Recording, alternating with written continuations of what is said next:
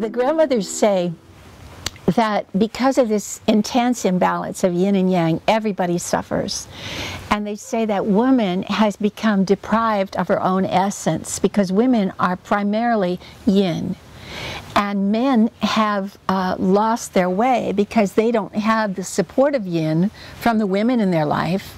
They don't have the support of yin from the planet because the planet itself has been desecrated so much.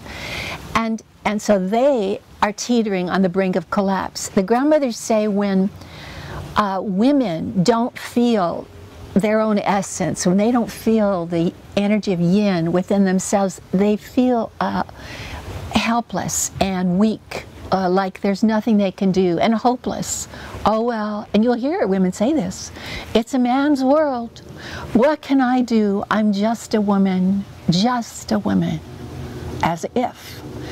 And and men, conversely, feel empty and they're so empty, it makes them crazy. They're looking for something to fill this hole, something fill this hole, and they go they go out into the world grabbing and raping, pillaging, you know, trying uh, to fill this hole.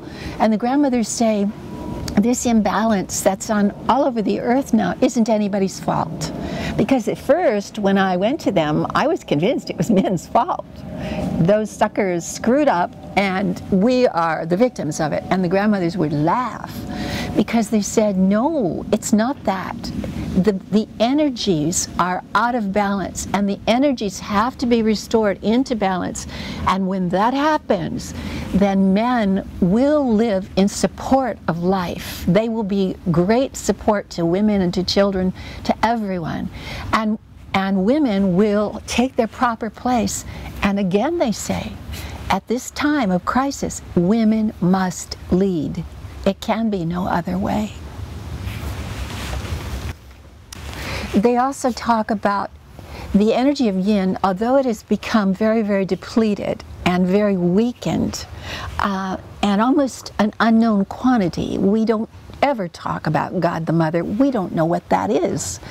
But um, the grandmothers say, still, in spite of all this patriarchy and the attempts to snuff out the power of yin, the the energy of yin has never, never died. It's gone dormant.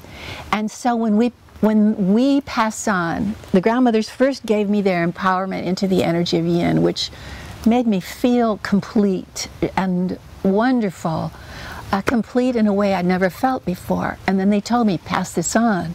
So now for many years, there are groups all over the world, and we're all passing on the empowerment to women and um, the cloak of comfort, which brings a man into balance to men. But what they said is the energy of yin has never gone out in you. It exists as a, as a very small spark within you. And the empowerment blows that spark into full flame. And they say you will begin to bloom then in beauty, power, in power, beauty, which is your nature. You will bloom as the flower that you've always been and always will be. I love that.